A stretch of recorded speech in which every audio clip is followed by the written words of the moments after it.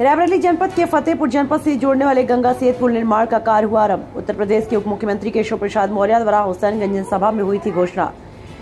बैरुआ रालपुर सरनी जनपद रायबरेली के लोगों व बलखंडी घाट भिठौरा फतेहपुर जनपद के लोगों को आवागमन हेतु लंबा सफ़र तय करना पड़ता है।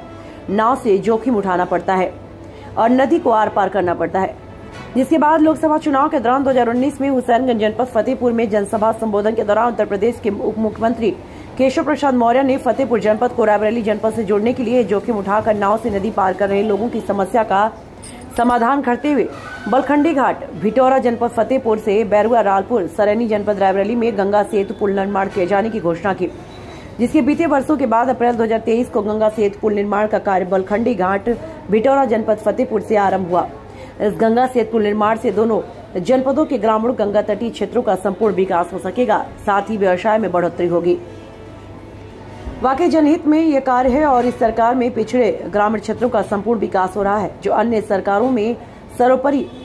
है और इसे गंगा, अन्य सरकारों से इन सभी कामों को सर्वोपरि रखा गया है, जिसकी वजह से इस सरकार में हर तबके का ध्यान भी रखा जा रहा है। इस गंगा सेतु पुल निर्माण कार्य को पूर्ण करने की तिथि अप्रैल 2026 से मंडल crime bureau chief Lucknow Anshu Srivastava.